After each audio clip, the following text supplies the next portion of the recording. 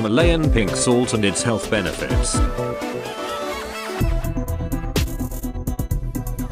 If you have not subscribed our channel please hit the subscribe button and the bell icon to get alerts for our future videos.